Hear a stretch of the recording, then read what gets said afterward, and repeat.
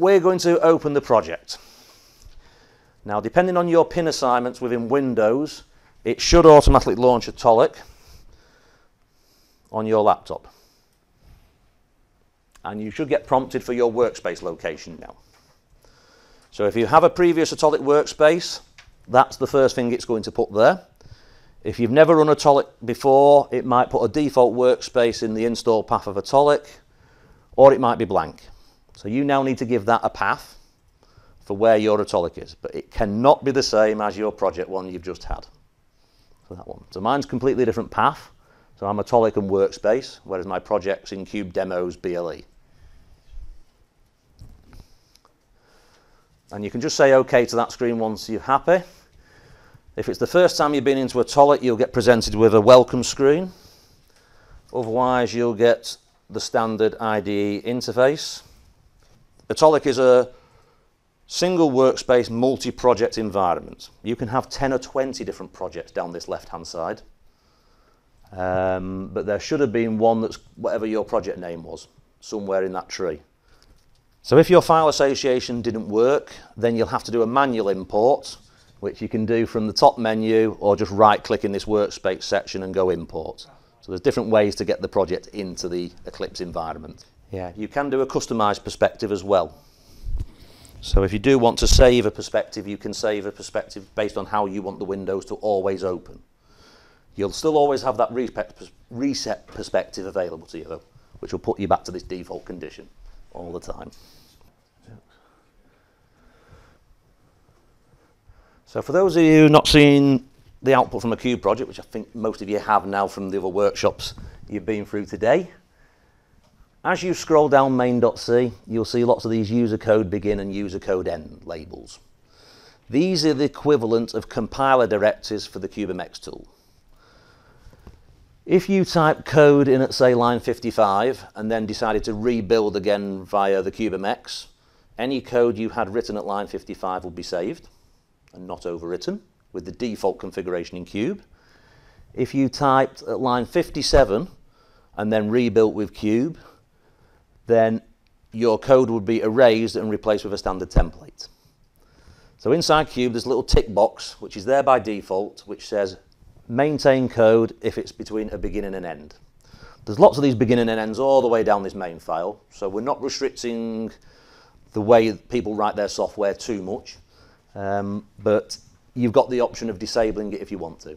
So it depends what you want to do. So again, it's flexible for the customer and how he wants to do things. It won't interfere with your source files. It will, it might delete them though, because it might decide that that file is no longer needed in the project. So then again, it's a tick box in the cube. So bear with me. Inside the CubeMX tool, there is project and settings, and it's the code generation tab. There is one that says delete previously gener generated files were not regenerated. It might see your, say, additional .h as a not previously generated file and it might remove it. So you might need to deselect that tick box. So it's just a way of keeping the folder tidy, that one is, so that you don't end up with lots of redundant files. But if you're adding your own .c's and .h's, this one might remove it because it might decide that, oh, this is not being generated this time, therefore I don't need it.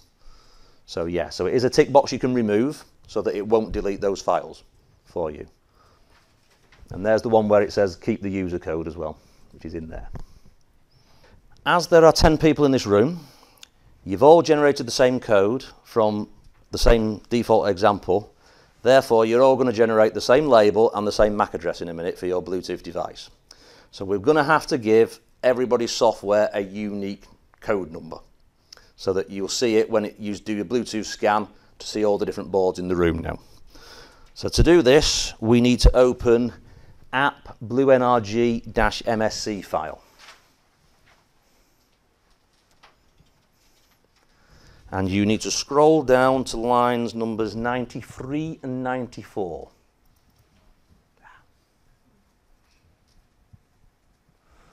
Where you can see a BlueNRG name and a MAC address, or what looks like a MAC address, a string of hex characters.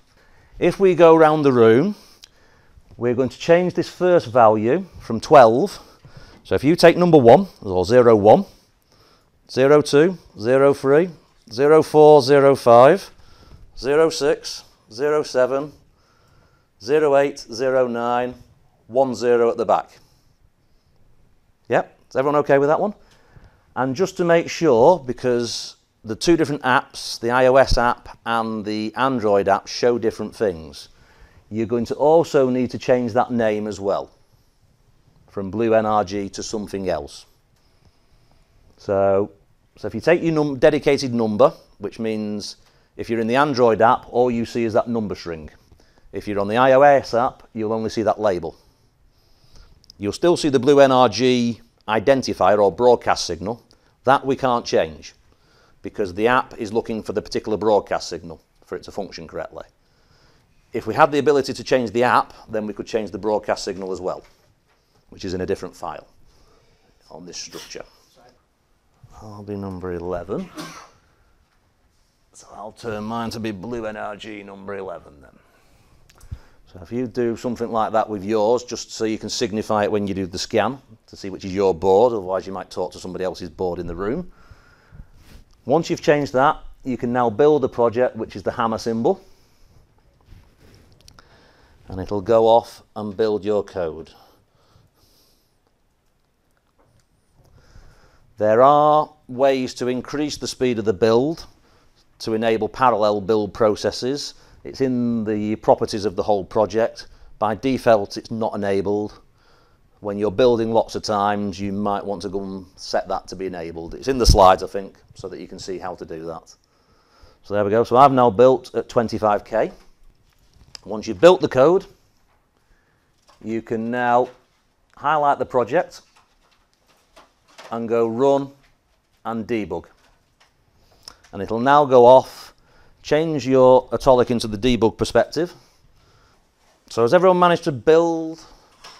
And when you've built, you'll need to connect your board before you enter debug.